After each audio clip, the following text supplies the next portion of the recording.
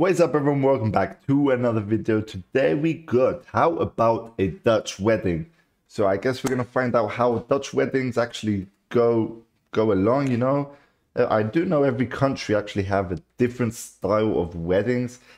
So let's check and find out how Dutch weddings actually are.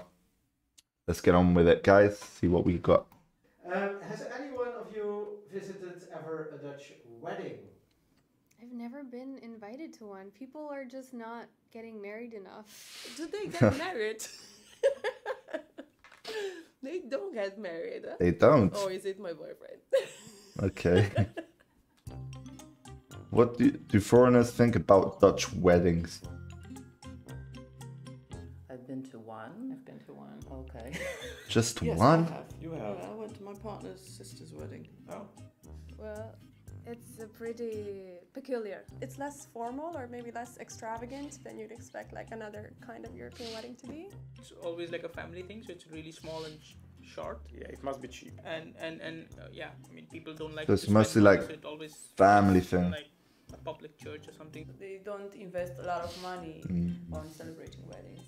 Okay. So I'm guessing like I've never been not too many But I think people invited. Something similar to to your birthday. then you have to go there, eat a piece of cake, 20 minutes leave. the Chinese wedding, they're always very nice dinner, and but for Dutch, no, not at all. They eat a lot of this kroket and uh, frikandels. Yeah, it's for me some fun for wedding ceremony. This must be something different with my opinion, but okay. But I remember Dutch Hmm. snacks. Yeah, Also at weddings? Yeah, Wow, yeah. Why not? It's Dutch wedding, so it should be Dutch snacks. I, I would expect something more elaborate. They have like separated uh, event. Like I'll let you know guys at the end how uh, how the weddings I go to actually are. Currently where I am in Cyprus. I'm currently living in Cyprus, so I'll let you know as well how weddings here are. there or the party without food or this celebration, the ceremony or something like that. Yeah, weird. And uh, if you're a guest, you should make sure to understand to which part of the celebration you are invited to. yeah, that's true. Otherwise, you will end up being hungry and drunk, probably. You can be invited to just uh, give the presents and leave. and uh, if you're lucky, you might. Uh, If go you're to lucky, party okay. To have some drinks, but uh, probably not food. If you're invited for the reception and the ceremony, then in between you have to get food for yourself. So you go back home or something, you eat your lunch. You can also come take back? a Pindakaas uh, broodje. And they may, may, might give you like recommendations, but like you're on your own and they won't pay for you. It's like you have a whole class system, and based on where you fit into the wedding, you know where you stand with the uh, the bride and groom. so- it's very clear message Yeah. we're good friends or not. I find quite funny because that never happens in Czech Republic. If you're invited, you're just invited. in my uh, Interesting. people marry on Tuesday. Do you know why that is? Tuesdays? No, Really? There's a reason why in every town most people marry on one specific day. I'm guessing that's just for the Dutch people. Normally, people get married in the weekend. Why would you get married on a Tuesday? Yeah, weekend seems I guess it's more. more historic than that, as in there'd be a pastor or a priest for each individual like area. So they don't collapse with all the marriages that they have. Uh, Maybe is it the only day of the week you're not allowed to get divorced? So they. Uh, Is there such a thing?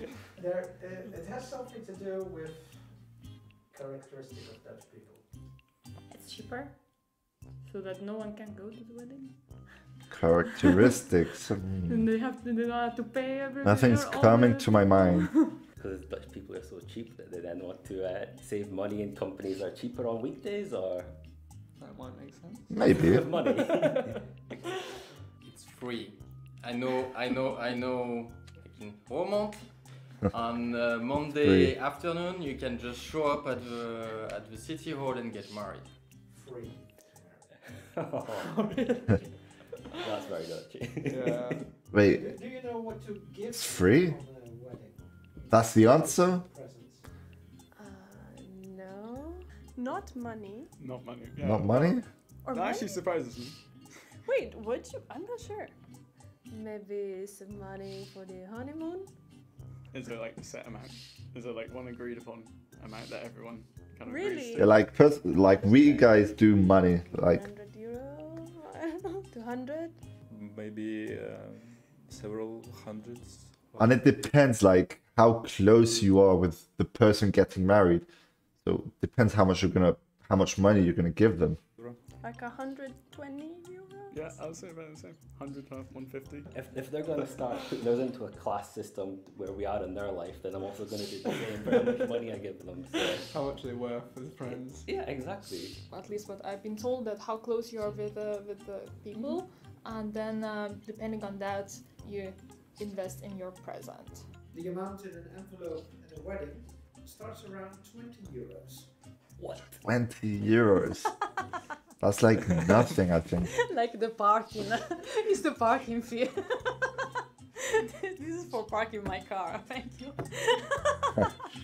wow man that that was interesting like you know dutch people weddings uh, like my thoughts from watching this video isn't really surprising nothing too wow you know like the weddings we go to in cyprus like there are so many people like they invite like literally everyone. Maybe they don't even know the person too well and they invite them.